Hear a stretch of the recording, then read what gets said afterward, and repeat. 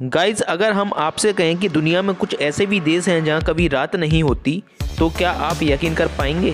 अब आप सोच रहे होंगे कि अगर ऐसा हुआ तो लोगों के सोने, जागने, खाने, पीने का पूरा टाइम टेबल गड़बड़ा जाएगा। लेकिन यह बात पूरी तरह सत्य है। तो चलिए आपको बताते हैं उन देशों के बारे में। नंबर वन नंबर वन पे है कनाडा। कनाडा में साल में ज़्यादातर समय बर्फ़ जमी रहती है। यहाँ गर्मियों के दिनों में रात नहीं होती, क्योंकि यहाँ पर गर्मियों में लगातार सूरज चमकता रहता है।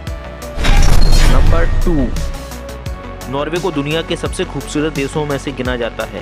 नॉर्वे को land of the midnight sun के तौर पर भी जाना जाता है। यहाँ पर मई के महीने से लेकर जुलाई के महीने तक 24 घंटे सूरज निकला रहता है।